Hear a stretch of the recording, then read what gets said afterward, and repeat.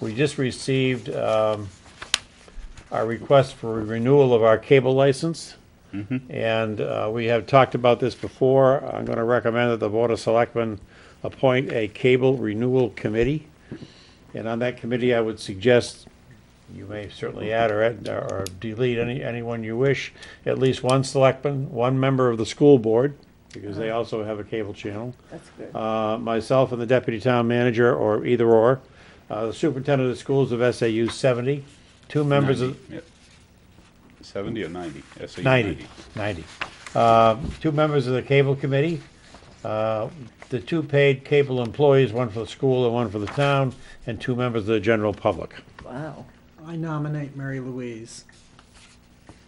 You just want to scare them this year. Well, you're a good it's- person to do it. You haven't been here Well, before. let's, But I'm the selectman's representative to the cable committee, so I would be like to be the one that is on that. You that. would like to do it? Yes. Good man. okay. Well, Then I'll nominate him. I'll.